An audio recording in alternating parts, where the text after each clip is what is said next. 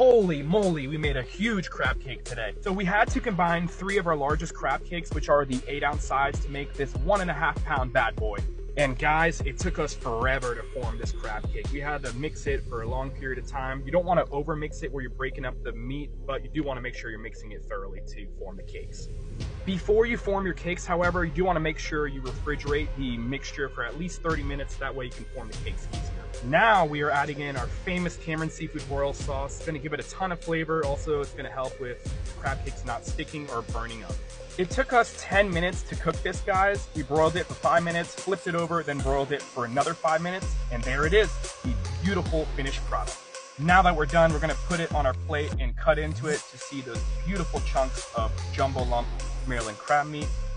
The golden brown colors show that the crab cake was cooked properly. And to put this into perspective, guys, we have four ounce cake, eight ounce, 16 ounce, and some crab balls.